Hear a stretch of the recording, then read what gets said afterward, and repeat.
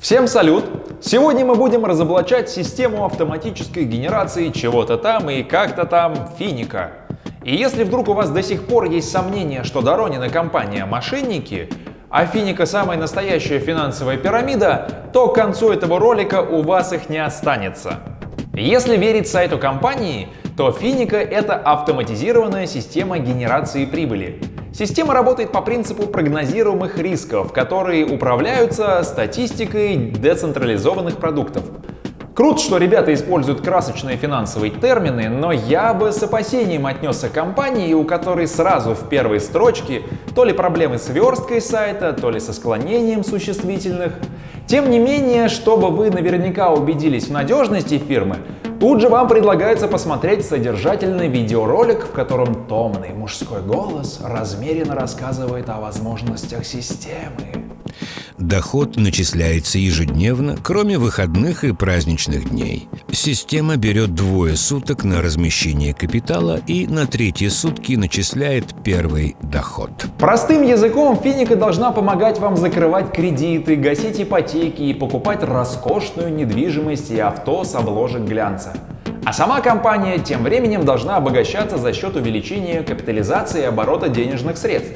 Если вас уже заинтересовало все вышесказанное, то дальше во всех соцсетях и блогах вас будут убеждать, что торги ведутся на таких известных рынках, как Московская биржа, Форекс, где вы сможете быстро и без напряга разбогатеть, просто отдавая деньги в доверительное управление.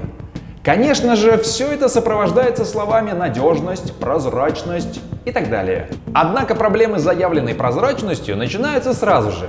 Компания периодически заявляет, что ведет деятельность с 2017 года, но никаких пруфов на это нет. А домен официального сайта зарегистрирован всего лишь один год и 7 месяцев назад. При попытке зарегистрироваться на сайте, а это придется сделать, так как без регистрации сайт не дает ничего, кроме просмотра страниц, вам предложат прочитать пользовательское соглашение, из которого мы и узнаем, что юридически компания называется «Цифрон», и ничего общего с торгами, биржей или прочими атрибутами настоящего волка с Уолл-стрит эта контора не имеет. А скорее является игровой площадкой для тех, кому надоела безобидная игра в танки. Смотрите сами. Также интерес вызывает и адрес регистрации, и деятельность юридического лица. ИП зарегистрировано в Казани, а по документам занимается продажей компьютерной техники. Что же Децифрон? Этот бренд располагается в Таллине, вот по этому адресу. И это только один из адресов, причем разные источники указывают еще более странные и отдаленные места. Вишенкой на торте является добровольное и чистосердечное признание, что финика это не брокеры. К сожалению, далеко не все читают подобные документы, и количество участников пирамиды неуклонно растет. В особенности это вызвано небольшим количеством контента от счастливых инвесторов, которые, к примеру, купили машину, потратив только 35% от стоимости, а остальные за них сделали финика, а именно провели торги на бирже, заработали остальные 65% и каждый месяц выплачивают ваш долг. Благодарю компанию Финика от сердца, от души. Желаю им расцветания, процветания и долгих лет существования. Это непередаваемые ощущения, которые я не могу или так не умею, как надо выразить, но это классно. Несколько сториз в неделю, пара постов. Вот их основная фишка, что разительно отличается от других пирамид. Типа «деньги любят тишину». Та же схема работает с покупкой недвижимости и погашением кредитов. Звучит все это отлично, а по факту горе-инвестор просто дарит финика 35% стоимости, а в итоге остается должен 65% продавцу. Но это не могло длиться вечно, и деятельностью компании наконец-то заинтересовались правоохранители, признав Финика пирамидой, незаконно собравшей 80 миллионов рублей с честных граждан.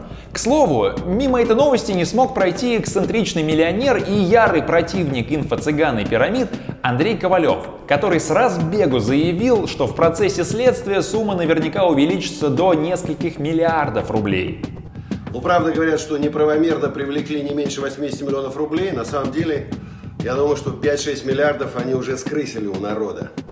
А теперь давайте узнаем, кто стоит за всей этой системой и кому предъявляются обвинения. В начале ролика про приобретение автомобиля нам уже представили управляющего партнера компании по имени Зигмунд Зигмунтович. Сегодня мы едем в Йошкар-Олу. Хотим познакомить вас с Эдуардом. Вместе с ним на благо вашего финансового успеха работают Кирилл Доронин и Марат Сабиров.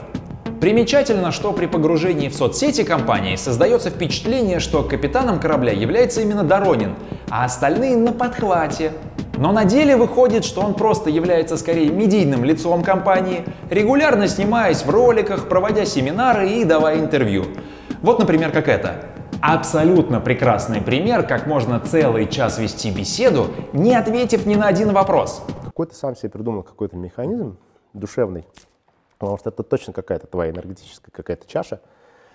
Куда ты ее положил, а теперь смотрим. То есть ты знаешь, что твой бэкграунд, твое, твое естество хочет эту цель.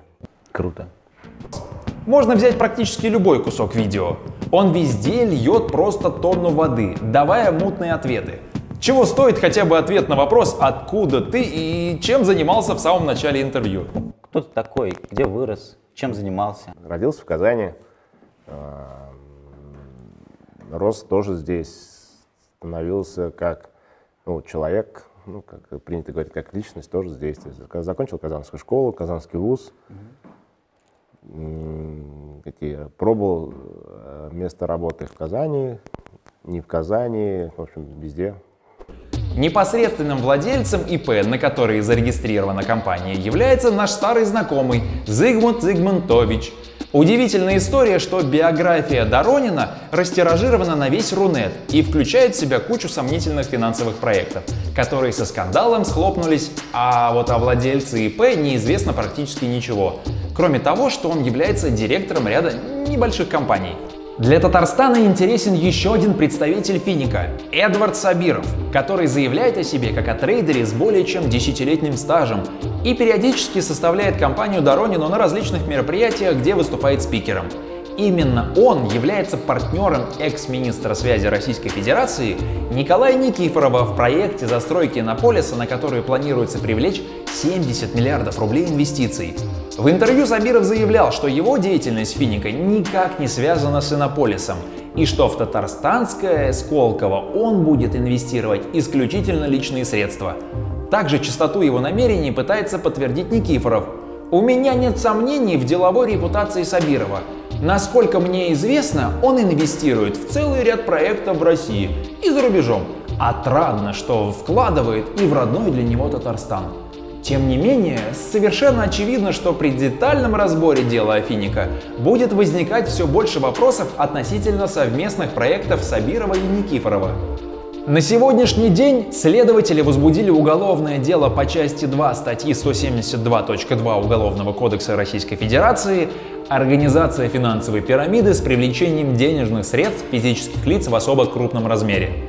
Но в деле нет пока ни одного фигуранта, подозреваемых еще не установили.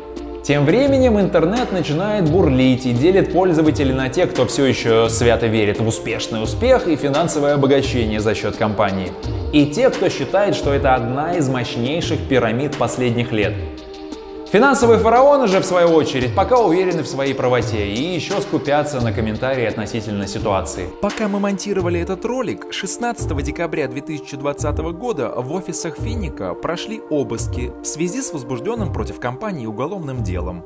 В обысках принимают участие около 200 оперативников Управления экономической безопасности и противодействия коррупции МВД по Республике Татарстан, УВД Казани и Главного управления БЭП МВД России. Пирамиду подозревают в ведении мошеннической деятельности, возбуждают уголовные дела, пока ее основатель, Кирилл Доронин, записывает прямые эфиры, пытаясь доказать, что он ни в чем не виновен. Мы же призываем вас быть бдительными, не вестись на сомнительные схемы вложения средств и всегда проверять информацию. Будьте умнее, друзья,